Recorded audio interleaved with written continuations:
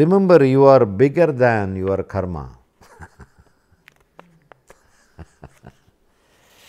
you are stronger than your karma.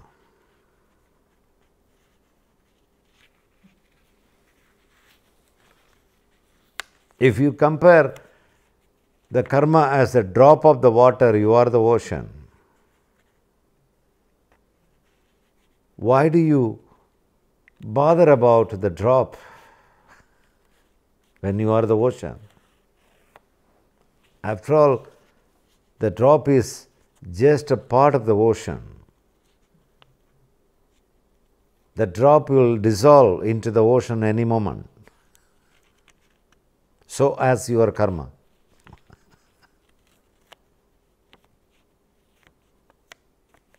Everyone is carrying certain certain amount of karma. Nobody is exceptional. Sometimes the drop feels like the ocean, though. Yeah, because because you think that the drop is the ocean. You think. you decorate, you decorate the drop as a ocean. Hence, the drop is creating a fear in you. A small drop is capable of creating a fear in you because of your imagination.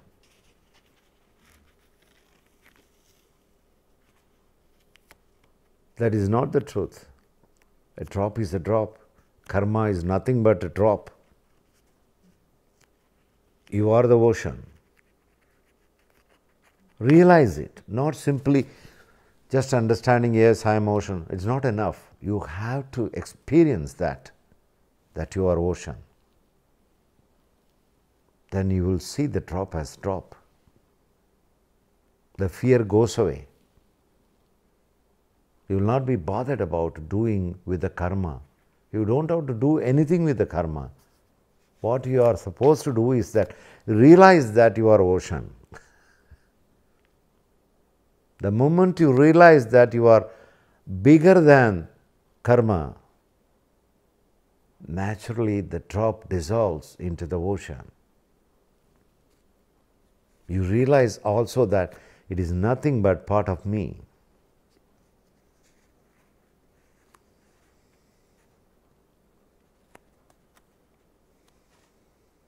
You will become very friendly with your karma. you will enjoy. you can play with it. even the, even the self-realized people, enlightened people, they themselves have got their own karma. No one is exceptional. The only difference is the realized people, they simply play with their karma. The other people, they are afraid of karma. That's the only difference. What is the wise way? The wise way is just to play with the karma.